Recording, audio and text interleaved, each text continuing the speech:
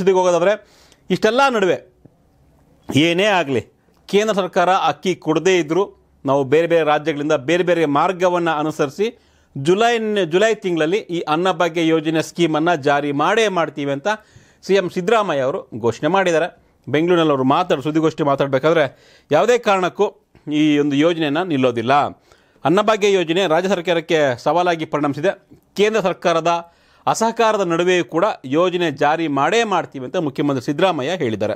National cooperative consumers federation ಅಂದರೆ N C C F national agricultural cooperative marketing federation NAFED ಹಾಗೂ ಕೇಂದ್ರೀಯ ಭಂಡಾರದಿಂದ ಅಕ್ಕಿ ಪಡೆಯಲು ದರಪಟ್ಟಿಯನ್ನು ಈಗಾಗಲೇ ಕೇಳಲಾಗಿದೆ. ಸೊ ಅದರ ಮೂಲಕ ನಾವು ಕ್ರಮವನ್ನು ಕೈಗೊಳ್ತೀವಿ ಅಂತ ಸಿದ್ದರಾಮಯ್ಯನವರು ಹೇಳಿದ್ದಾರೆ. ಕೃಷ್ಣದಲ್ಲಿ ಮಾತನಾಡಿದ್ರು ಭಾರತೀಯ ಆಹಾರ ಮಂಡಳಿ ಏನು ಎಫ್ ಸಿ ಐನಿಂದ ಮೂವತ್ತ್ನಾಲ್ಕು ರೂಪಾಯಿ ಅಕ್ಕಿ, ಜೊತೆಗೆ ಕೆ ಜಿಗೆ ಜೊತೆಗೆ ಎರಡು ರೂಪಾಯಿ ಅರವತ್ತು ಪೈಸಾ ಟ್ರಾವೆಲ್ ಚಾರ್ಜ್ ಇದೆಲ್ಲವನ್ನು ಸೇರಿಸಿ ನಮಗೆ ಮೂವತ್ತಾರು ರೂಪಾಯಿ ನಲವತ್ತು ಪೈಸೆ ಆಗ್ತಾ ಇತ್ತು. ಈ ಮೂರು ಸಂಸ್ಥೆಗಳ ದರ ಹೇಗಿದೆ, ಸರಬರಾಜು ಮಾಡುವ ಪ್ರಮಾಣದ ವಿವರ ಏನು, ಇದೆಲ್ಲವನ್ನು ಕೇಳಿದ್ದೀವಿ. ಟೆಂಡರ್ ಮೂಲಕ ಅಕ್ಕಿ ಪಡೆಯಲು ಕ್ರಮವನ್ನು ಕೈಗೊಳ್ತೀವಿ ಅಂತ ಸಿದ್ದರಾಮಯ್ಯನವರು ಹೇಳಿದರು.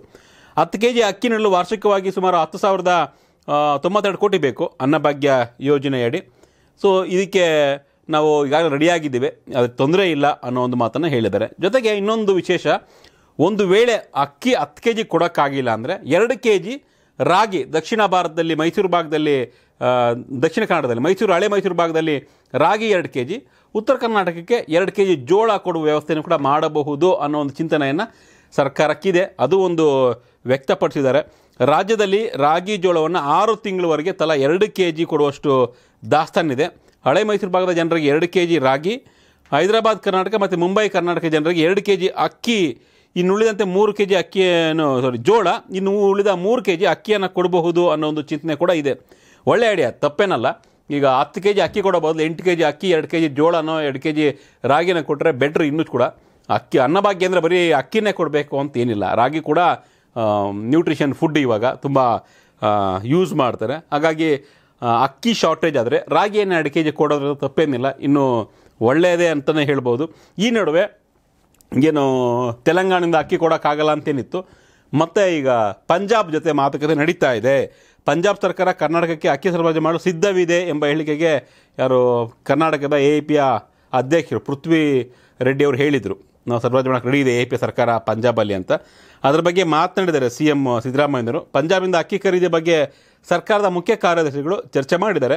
ರಾಜ್ಯ ತಿಳಿಸುವ ದರಕ್ಕೆ ಅಕ್ಕಿ ನೀಡಲು ಪಂಜಾಬ್ ಸರ್ಕಾರದ ಜೊತೆ ಮಾತುಕತೆ ನಡೆಸಲಾಗುತ್ತೆ ಅನ್ನೋ ಒಂದು ಮಾತನ್ನು ಕೂಡ ಸಿದ್ದರಾಮಯ್ಯನವರು ಹೇಳಿದರು. ಒಟ್ಟಿನಲ್ಲಿ ಏನೇ ಆಗಲಿ, ಕೇಂದ್ರ ಸರ್ಕಾರ ಕೊಡದಿದ್ರೂ ಪರವಾಗಿಲ್ಲ ಅಕ್ಕಿ. ನಾವು ಯೋಜನೆಯನ್ನು ಜಾರಿ ಮಾಡೇ ಮಾಡ್ತೇವೆ ಅಂತ ರಾಜ್ಯ ಸರ್ಕಾರ ಪಟ್ಟಿಡಿದಿದೆ. ಯಾವುದೇ ಕಾರಣಕ್ಕೂ ಅನ್ನಭಾಗ್ಯ ಯೋಜನೆಯನ್ನು ಮುಂದೂಡುವ ಅಥವಾ ರದ್ದು ಮಾಡುವ ಪ್ರಶ್ನೆಯೇ ಇಲ್ಲ.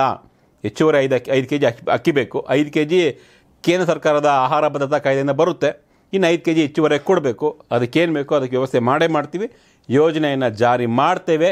ಕೇಂದ್ರ ಸರ್ಕಾರದ ಅಸಹಕಾರ, ಸಹಕಾರ ಕೊಡದೇ ಇದ್ರೂ ಕೂಡ ನಾವು ಜಾರಿ ಮಾಡ್ತೀವಿ ಅಂತ ಸವಾಲು ಹಾಕಿದ್ದಾರೆ ಸಿದ್ದರಾಮಯ್ಯರು ನೋಡೋಣ, ಜುಲೈಯಿಂದ ಈ ಒಂದು ಯೋಜನೆಯನ್ನು ಜಾರಿ ಮಾಡುತ್ತಾ, ಏನೆಲ್ಲ ಆಗುತ್ತಾ, ಹತ್ತು ಕೆ ಜಿ ಅಕ್ಕಿ ಕೊಡ್ತಾರಾ ಅಥವಾ ಎಂಟು ಕೆ ಜಿ ಅಕ್ಕಿ ಕೊಟ್ಟು ಎರಡು ಕೆ ಜಿ ರಾಗಿ ಅಥವಾ ಜೋಳ ಕೊಡ್ತಾರೋ ಅನ್ನ ವೆಯ್ಟ್ ಮಾಡೋಣ. ಇನ್ನು ಮುಂದಿನ ಸುದ್ದಿ